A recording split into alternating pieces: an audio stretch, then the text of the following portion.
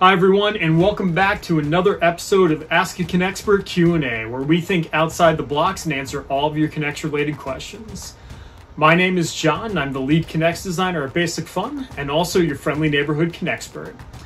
Okay, so today we're going to do something a little bit differently, and instead of answering questions from the queue, uh, we're going to be providing a preview for one of our latest and greatest K'NEX sets available for fall of 23 on Amazon.com. This is the new K'NEX Marble Coaster Run. It includes over 500 pieces, a motor, and also incorporates new parts that are specifically designed to work with marbles. Also included in this set are different building levels. These are great, so that way at level one, this is perfect for any beginner or someone new to K'NEX. This unlocks a few of the basic features of the model. At level number two, this is where the model gets a little taller and unlocks a few more features. And then at level three, this is where you unlock all four paths of the model. And then this also includes the motor driven chain lift, which is really cool to see operate and work. So what I'm gonna do is unbox this set. We're gonna go through the instructions, do a few time lapses, and then at the end, I'm gonna provide a few tips and tricks to make sure that the model works correctly and consistently. So that way at the end, you're not gonna end up losing your marbles. All right, let's get started.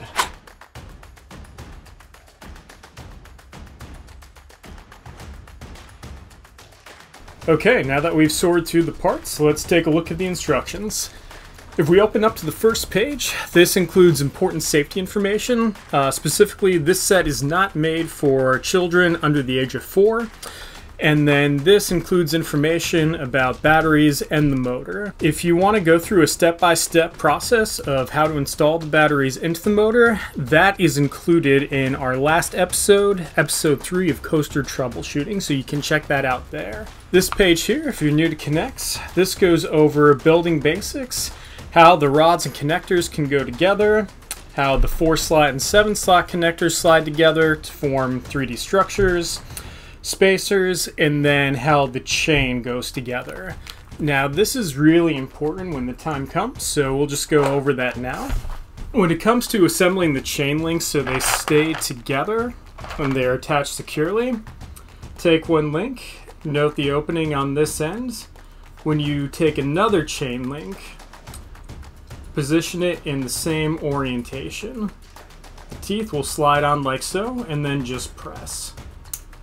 You'll hear that click, and then that will rotate and hinge freely and smoothly. And then just keep adding one more link at a time. And that's all there is to it. So then if we go to the next page, page number four, this is going to include the entire part list for the set. This is everything that should be included uh, within the box go through, make sure that every single piece has the correct quantity. If you find that you're missing any pieces, go to basicfun.com, the customer support page, and then when you need to request any additional parts, just use this part number right underneath here, uh, underneath the part image. All right, so let's begin level one.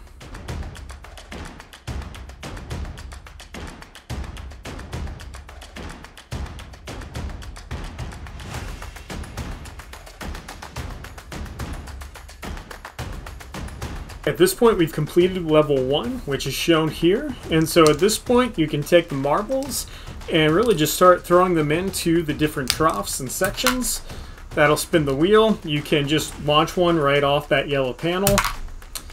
And then there's this section over here you can drop marbles into.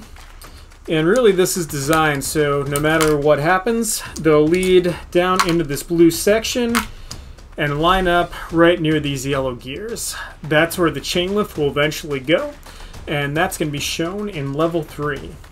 So now that this is complete, we can get started with level 2.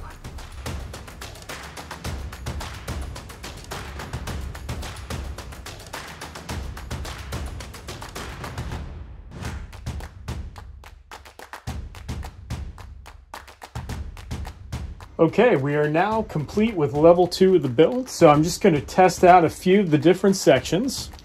Okay, number one, just from level one. All right, we're still good there. Then what I'm gonna do is drop a marble in this new path that will circle around the entirety of the build. All right, that looks good as well. Then what I'm gonna do, instead of dropping the marble right into here, I'm gonna test out the flip arm. So if I drop that in, all right, that looks good. And then lastly, I'm gonna test this last path out here. All right, and that looks good. And so again, all the marbles are gonna funnel right towards the bottom, right towards those two yellow gears.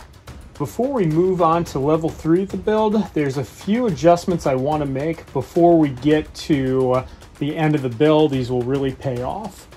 So number one is if I shift the model over here, you're gonna notice this attachment point right here. What we found through subsequent testing is that if this is adjusted and flipped,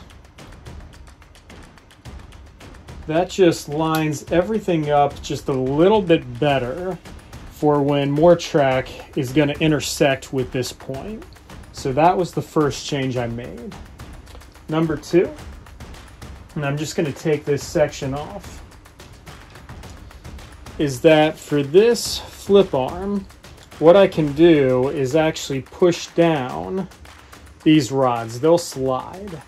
And so what that will do is just allow that arm to lean a little bit and that will position it better once the other pieces are in place. And then you can slide these bottom pieces as well. And so I'm going to just slide the top two over towards this direction just a little bit. And then I'm just going to reattach that.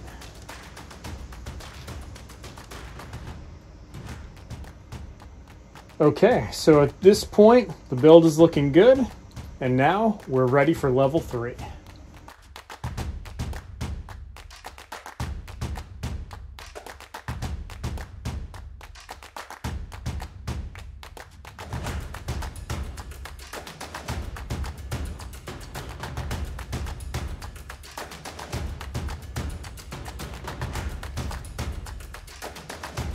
Okay, so that completes level 3. The marble coaster run is now complete. Before I load the marbles into the coaster run and turn on the motor, I'm going to test each individual path manually uh, before I turn the motor on. So let's go ahead and do that right now. Alright, so to check each path, I'm just going to get this little closer here. All I'm going to do is drop the marble into this section of the build. So let's start with path one. All right, so in that case, we saw that there was a misfire. So all I'm gonna do is, this is with the accordion tubes, I can actually just adjust the angle of that tube and so what that does is that gives me a better direction into the flipper arm. So let's try that one more time now.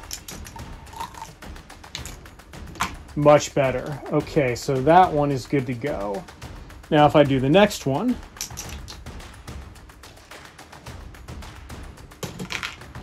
All right, excellent. That one looks good. Now I'm going to do this one. Okay, so this is another thing. The toggles in here, these yellow pieces, you want to make sure that those are nice and loose. So if anything's pressing against them, like these hand pieces, just spread them apart so that way it rotates freely.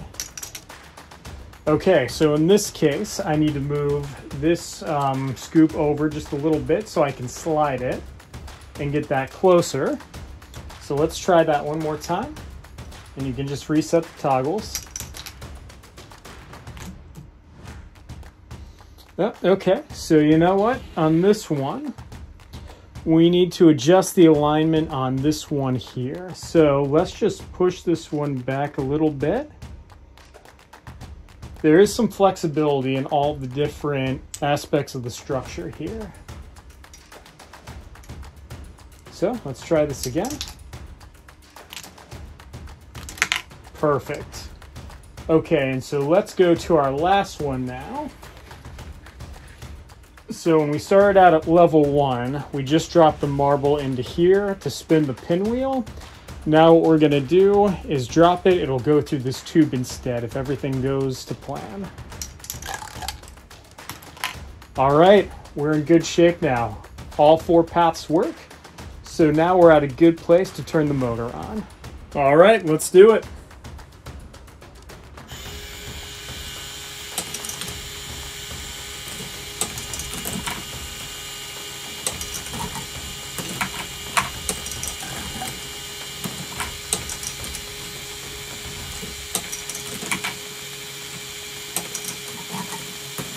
Everything is looking good and operating well. You have now completed all three levels of the K'NEX Marble Coaster Run. Alright, I hope that was helpful. Like and subscribe below so you don't miss out in the next episode. Also, leave us a comment if you have questions you'd like answered on Ask a K'NEXpert Q&A. My name is Jon, reminding you to think outside the blocks with K'NEX.